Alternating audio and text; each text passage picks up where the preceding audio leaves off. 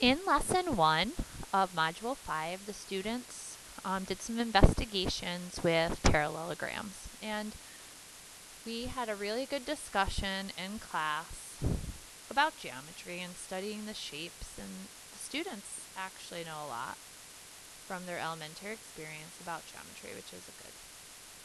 So we talked about this shape on the coordinate plane, and we talked about this shape being a rectangle and we talked about calculating its area. So I taught the students that there's one, two, three, four, five units that represent the length. We also talked about how the length can also be classified as the base.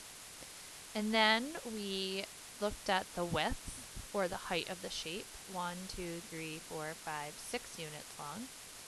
And we talked about the area formula. Area is length times width so in this case, it would be 5 times 6.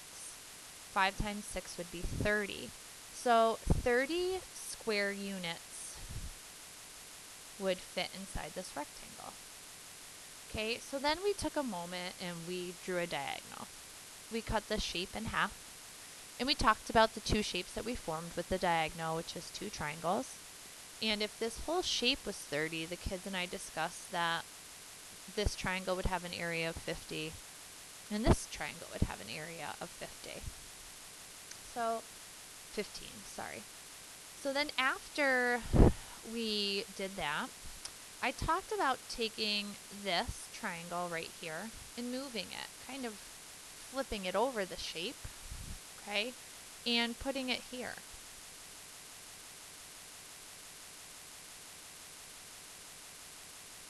Okay, so I just took this and I didn't flip it, I actually slid it right over here. So it's kind of like I took this piece off and we talked about what shape that would form. And they came to the conclusion that that was a parallelogram because it has two sets of lines that are parallel to each other. And I asked the class what the area of this figure would be. Well, then they went back to each triangle is worth 15. The whole rectangle was 30. You just slid that over.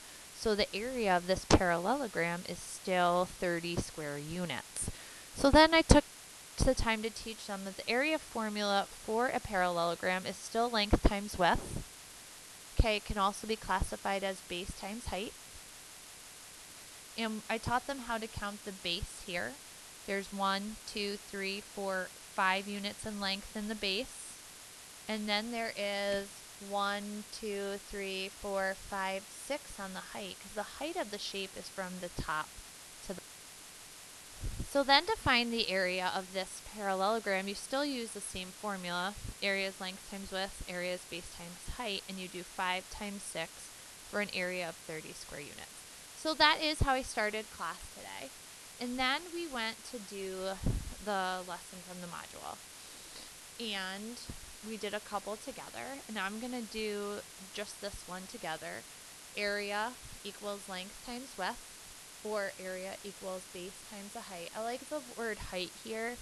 Um, the length or the base here is going to be 6. The height is from the top of the shape to the bottom, okay? It is not this diagonal. And we talked about um, that we never measure how tall we were are in a sideways fashion.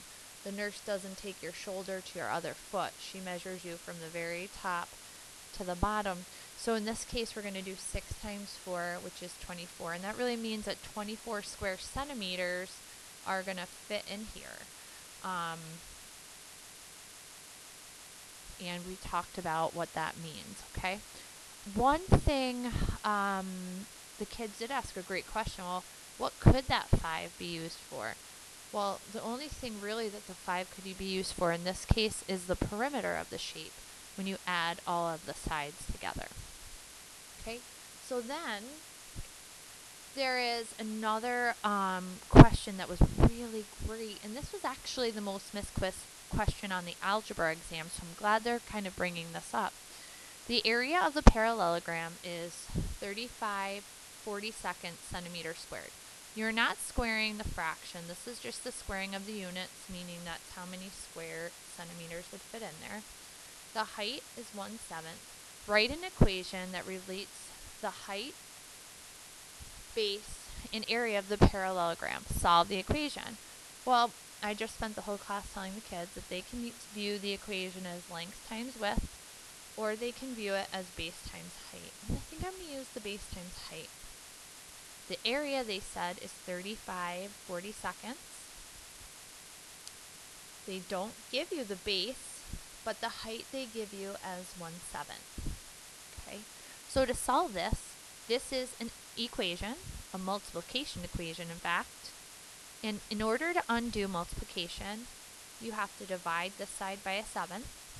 They're going to cancel. And whatever you do to one side, you must do to the other. So this would be keep, change, flip.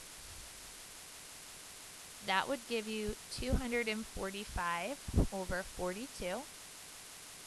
And if you wanted to pull your calculator out at this point, 245 divided by 42, you would get an answer of 5.83, and the 3 would be repeating, so we're going to use bar notation for your base. And that would be centimeters. Okay, and that is a preview of your lesson today. And hopefully you um, enjoyed the eduCanon questions and have a great day.